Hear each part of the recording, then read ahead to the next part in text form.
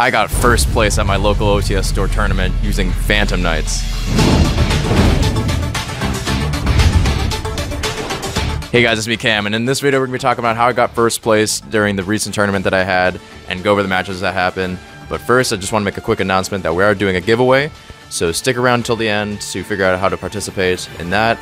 Uh, super excited to share this video with you guys. It was a lot of fun to make. Without further ado, let's just not waste any time. Let's get started. The Phantom Knights deck strategy is the first deck that I ever played since getting back into the game. With its excellent ability to utilize its resources in the grave and play around tough situations that may arise in complicated game states, this deck is certainly not a force to be reckoned with. It's been a couple months since I picked this deck back up, so I needed to get some extra practice in first. The day prior, I played with a small gathering at Outer Planes to get back in the groove of the deck, and I finished in third place. And with that placement, I got some sick prizes. You got is five.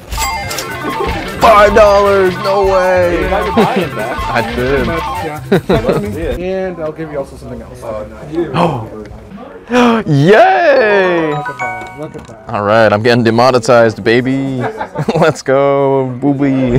so the next day, I decided to compete at a higher stakes local tournament and see if I really had what it takes to top. It's me, Cam, and I'm playing Yu-Gi-Oh! again. I love Yu-Gi-Oh! Today we're at uh, Waifu Next Door Collectibles in Santa Rosa. It's like a brand new shop that opened up. It's newly certified as an OTS store. Uh, today's the first day that uh, we're able to get packs for uh, tournament entry. The owner, Jai, he's the owner of this place. He's a longtime Yu-Gi-Oh player and uh, an avid uh, member of the community. It's an amazing opportunity to be able to play here and uh, support local Yu-Gi-Oh enthusiasts like Jai. That's Jai. What's poppin', Playboy? He's cool. He's a swell guy. Anyway, I'm super excited to be here. Uh, let's go check out the inside and uh, we'll go get started. Waifu Next Door Collectibles is a newer shop that just opened up in Santa Rosa. Tournaments usually take place late at night and end at around 1 in the morning. Normally, entry fees are $5 and the prize pool is split amongst the top three players at other OTS stores.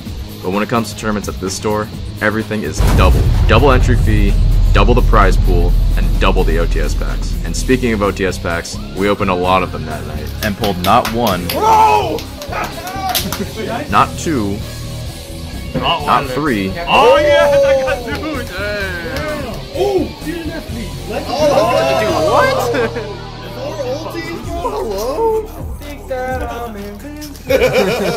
but four ultimate rares amongst the people that showed up tonight. First round against David. Let's do it. yes, I am. Do you consent? For two percent of all proceeds. All right, that sounds that sounds good to me. First round we get paired against David, and David is just the nicest guy. Like I love when this guy comes to play. He's a little bit of a newer player, so I won't cover too much. Uh, aside from the key moments where we end up making mistakes, and I'll end up showing you guys later what full combo looks like with this deck uh, in a different match. Uh, but he's playing Sword Soul Tenyi. He ends up making Aurora Dawn off of Halqifibrax and Dustspot 001 and activates the effect which summons out three tokens to his side of the field, but then passes turn unfortunately after uh, and forgets about uh, Despot's graveyard effect to special summon itself from the grave. So he's pretty much wide open, and I'm able to dismantle the whole board and win shortly after. Game 2, we're in a relatively interesting spot here where David goes first this time, and he's able to bring out Chixiao, which is able to negate a monster effect, as well as Cheng Ying, which is able to make my monsters lose attack power based on the total number of banished monsters from both players. He also sets two cards face down, and I'm in a situation next turn where I'm able to bounce a card back to his hand using Dracobek's ability, and after thinking about it, I end up bouncing one of his back row with that face down. This guy? Yes. And then I end up summoning out Rusty Bardiche and try to use its effect, but when David tries to negate it with Chixiao, I respond by chaining Griffin Rider to negate Chixiao.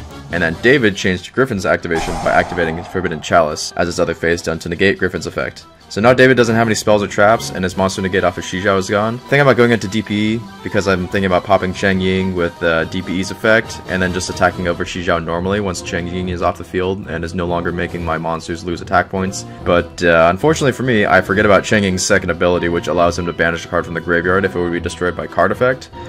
So my plan pretty much just fails from here. Um, I probably, in hindsight, should have just bounced the Cheng Ying to begin with, with Dracobek, and um, just had not have been scared of the two face downs. He ends up normal summoning Moyi the next turn. I just end up scooping and try to move to game three as quickly as possible because the time is starting to run out soon. Game three, I open with just the Brave package as well as being able to activate Fusion Destiny from hand. And I also set and activate an anti-spell fragrance the next turn to try and stall out David from using any spells, to which he then chains Forbidden Chalice, targeting DPE to negate its effects, I chain Griffin Rider to negate this, and then he summons out Moyi, and after he summons out the token, I quick effect DPE, destroy the Moye, and leave David wide open with just the one token. So by this point, there's like one minute left in the round. I'm struggling to perform my combo as quickly as possible in order to try and win. But then he activates Nibiru, and I'm like, oh shit, what have I done? Like I should have just attacked and at least, do some damage before time runs out. But uh, I'm able to save myself by linking off the token and summoning out some of my monsters from grave using Seer's effect, as well as bringing back Torn Scales from Grave in order to make Access Code Talker, and then attack for game. Even though time was called shortly after Nibiru was activated, David was really nice and let me finish my combo and allowed me to take the first win. Uh, he would later go on and tell me that he came to the decision to give me the win because he is a newer player and he acknowledges it. He was acknowledging that he was taking a while to finish his turns, and he also made a judgment decision that the game was in my favor anyway, and I would have been able to win in the next turn or so anyway. Uh, I'm not really one to be bothered for people playing at a slower pace because, you know, like we've all been there, especially me. So I wasn't going to say anything about the game going into time for that reason, and I would have just taken the draw if David wanted. But the dude was really chill about the situation, and he just gave me the win under the circumstances, and I really respect him for doing that. Um, it was really fun to play against David. But now I'm about to have a lot less fun because next round we got paired against Kevin, who's playing pure branded Despia. This is. What is this? Sorry. This is like just your revenge arc right now from the last time. I mean, I wish I had this board with him. So I open up pretty subpar after losing the dice roll, and Kevin is able to just get out this disgusting board, like oh my god, without any interruptions. And uh, remember that annoying Masquerade Dragon from the last video, the one that deals 600 damage to me every time I do something. Yeah, he has two of those on the field, plus a Griffin Omni Negate. And I look at my hand, and despite Kevin's nasty ass board they got set up, I decided to play this game the best way I know how. Dude, what? I'm just gonna scoop, dude. I like. I will just either burn to death or like, or just get, Oh, or just, or just get negated. Oh. And that's by not playing at all. We scoop and move to game two. Alright, game two, we're going first this time, thank god, because this deck always goes better going first. Uh, we play Foolish Burial to try to get as many cards as we can into the grave start, but uh, Kevin ends up going ahead and using Ash Blossom on us, uh, which is okay because we do have extenders. Uh, we're able to send out uh, Fateful Venture and then Silent Boots, and then activate Fateful Venture's effect to get Draco back to hand, and then activate Fateful Venture to get the Water Enchantress and banish that to get the token. We end up using Emergency Teleport to get our second level 3 monster onto the field, and with that, we're able to link them off into Cherubini. Cherubini is a monster that is able to dump a level 3 to the grave and then boost its attack. So by sending Graff to the grave, but we can activate its effect to send out Seer, and then Seer and Cherubini can then link off into Rusty Bardiche, one of the best cards in the deck. Seer activates in grave when it's sent to bring back out Cherubini. I end up linking off the token to get uh, Link Spider, and then link off the two for Dagda, and then I chain one Rusty, chain two Dagda in order to set my Scythe, and send a Torn Scales, and then set a Fog Blade. So I've got some good options in the grave. So I'm able to banish the boots to grab a Fog Blade, and when a Phantom Knights card is banished, I can bring back my Torn Scales from grave, and then I end up sending both my monsters to the grave to get out Verte, and activate Verte uh, to get out DPE. So now I've got my Scythe I can destroy on the next turn, and Scythe lock Kevin, and I have two Fog Blades just for safe measure. Is it like a permanent like that? No, I it's will just you Emotional damage! Oh my god, it's over. He activates Twisters to destroy two of my Fog Blades and then chains Droplet, sending Twister and another monster from hand to negate DPE. So I can't chain DPE and I can't activate anything. So now I just have the Scythe sitting there and my monsters can't do anything. He's able to normal summon Aluber, get the Branded Fusion, and then bring out Albion as well as Masquerade. Um, and at this point, I'm just like, oh my god, I've lost. It's I'm not getting first place. This video is clickbait, you guys. I didn't get first place. He destroys my monsters, and then at this point, I'm just like, oh man, it's over. But then, my Scythe comes back, because it was supposed to be destroyed at the end off of Dagda's effect. And then I attack him next turn and destroy his monsters, because they're negged negative 400 attack off of DPE's effect, and then I activate Fogblade in the grave and bring back my Rusty. And then in end phase, Kevin ends up searching to set a branded spell or trap, to which I then chain DPE because I didn't use the effect that turn to destroy it immediately. So the next turn, he's not able to do anything, and then I'm able to just one-shot him. So I don't know how I won, but I but I won. I don't I don't know, man. All right, guys, we're in game 3 now and Kevin chooses to go first this time. He sets up a board with the Griffin Omni Negate, Mirror Jade, as well as a face down. I start by bringing out my two level 3 monsters to make Cherubini, and then after using its effect to send a level 3 monster to the grave, Kevin chains Griffin Rider to negate and destroy my Cherubini, but thankfully, Cherubini mills a monster as cost, so I'm able to still put my Water Enchantress in the grave, and then banish it to get my Rite of Aramesir, and then I activate Rite of Aramesir and Chain Griffin to special summon it from hand in order to avoid Kevin from banishing my token with Mirror Jade right as it hits the field. He later then activates Mirror Jade to banish one of my cards, to which I chain Griffin to negate, and then he chains Branded in red in order to fusion summon Guardian Chimera, to which I'm able to then chain Ash Blossom, which I held onto in case this might happen, so that Kevin is unable to draw cards, as well as destroy one of my monsters. And with Kevin having no cards in his hand and no spells or traps on the field, I'm able to activate Torn Scales and send Ancient Cloak from my hand to the grave, in order to send a Fogblade from my deck to grave, and Xyz summon out Phantom Knights of Breaksword. Activate its effect to destroy itself as well as one other card on the field. I choose Guardian Chimera to get destroyed, and then activate Breaksword's effect in grave, which summons out two Phantom Knights monsters from the grave and then makes them level 4 and then I exit the two level 4 monsters into Raider's Knight, and then activate Raider's Knight's effect to summon out Arc Rebellion Xyz Dragon. And to finish things off, I activate Fogblade and Grave to revive back my Break Sword, and since Kevin used Verte the first turn and took the 2000 damage off of its effect to fusion summon Mirror Jade, I am able to attack with enough damage to secure a win for the second round. Alright, now it's time for the gift. I'm going to be giving away this secret rare Metal Zoa from that's it right there. All you have to do is uh, be subscribed and leave a like and comment down below what your favorite part of the video is so far. I'm trying to do a giveaway every video, so uh, if you guys feel like participating, just leave a comment. I'll announce the winner in the next video. Um, and uh, we'll just keep doing giveaways just because uh, I think it's fun. So um, click down below to enter the giveaway. Uh, let's get back to the video. This is my ultimate challenge. Facing Frank next. Against his undefeated uh, branded Tri Brigade.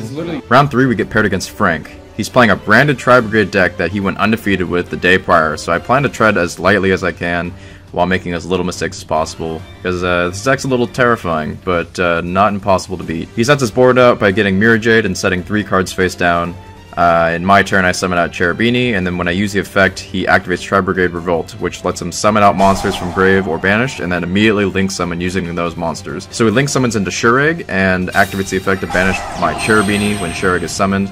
Thankfully, I'm able to once again send the Water Enchantress for cost, and banish it to get my Brave Engine set up, and then activate Fusion Destiny from hand. I then activate Draco back to bounce his Mirror Jade, but then Frank chains Droplet and sends Mirror Jade and negates my DPE. This was an interesting play, and I suppose I'm unable to do anything else I can't destroy a Shuraig, but what Frank doesn't know is that I drew the Scythe in my opening hand, and I end up setting it, and then next turn I surprise him by Scythe locking him, preventing him from summoning any monsters from the extra deck for one turn. So Frank sets a card, which I then just destroy next turn, and then I summon out enough beatdown in order to take the victory for this first game. Second game, we draw a great starting hand, and since Frank lost the last round, he decides to lead things off. And by leading things off, I mean he just exclaims that he bricked really hard, unfortunately. Which is good to hear, I suppose. Even if he did have a decent starting hand, I had Lancea, which basically prevents the opponent from banishing, and since a lot of cards in Frank's deck banish cards in order to activate effects, it would just completely shut down any combos that he might want to perform. Uh, he just goes ahead and sets two cards and passes turn. So in my main phase, Frank activates Anti-Spell Fragrance, to which I chain Griffin to special summon itself, to which Frank then chains Gamma from hand to negate and destroy Griffin. I don't end up being too bothered by this, as I'm just able to kind of send out my Torn Scales and activate the effect to mill Ancient Cloak to the grave. And I'm guessing Frank was trying to limit my extensions as, as much as possible, because he then quick effect activates DD Crow to banish my cloak. So I don't get to search for Phantom Knight's monster, and my Fog Blade is unable to revive anything in the grave, but unfortunately for him, I already had the Silent Boots in my hand, so I was able to just special summon out that, and then go about my combo normally, and with Frank not possessing any more hand traps, we were able to set up a big enough board to secure a victory for this round. So, so far, we are undefeated, about to go to the final round. And oh my god, this final round, we are going up against the most terrifying deck. The deck that we've never seen on this channel. It's Sword Soul, again. We get paired up against Esteban for the final round, and we end up winning the die roll for once. So we end up going first, and we just go full combo, uninterrupted, and we just go ahead and just Scythe lock him uh, immediately the first game. First hand kid, kid effect. Chainlink 1 Scythe, Chainlink 2 DPE. Nerve all effect. Hold on. Chainlink 3, game It's 2. okay. Game 2, I just bricked hella hard. I draw into Token Collector, which just inflicts pain into my soul. I'm unable to get anything going, as he just is able to negate all my monster summons and monster effects that I'm able to squeeze out, and we just get crushed and scoop Game 2. Game 3, the match that decides it all. And, uh, I wish I could say I had a better starting hand. All I'm able to do is summon out DPE and set Dimensional Barrier. Next turn, I'm able to delay Esteban from summoning any Synchro monsters by activating Dimensional Barrier, and then I use DPE's effect to try to destroy one of his monsters. But uh, when DPE is destroyed during the end phase of Fusion Destiny's effect, he activates Ghost Belle from hand, preventing it from reviving itself next turn. And with nothing else to defend myself and no more useful cards in my hand, the following turn Esteban is able to combo off and get all the big monsters he needs in order to win. And with that unfortunate ending to this journey, I leaned back in my chair and I let out a sigh of defeat. Our winning streak had come to an end. Okay, so here's what happened. We lost against Esteban. But the final standings, everyone went 3-1. That it was like a four-way tie. Three games won, one lost. And uh, I won to tiebreakers, so I got first place. I got first place, baby, with Phantom Knights. Super, uh, super proud of myself. Good job, Cam. You earned it. Yeah. So uh, I got some store credit, like an RC Nomens and uh, got the Ghost from the Past display. I will be opening that up in the next video. But uh, yeah, super satisfied. I'm very tired. I'm gonna go home. Like she had another. That's the end of the video, guys. I uh, hope you guys enjoyed it. If you did, please consider liking and hitting the subscribe button if you want to support the channel. And if you're interested in participating in the giveaway, uh, just uh, leave a comment and I will select the winner next video. Huge thanks to everybody that came out that night, and uh, thanks again to Jai for uh, hosting us. Look forward to making more content in the future, and uh, hope you guys all have a good rest of your day.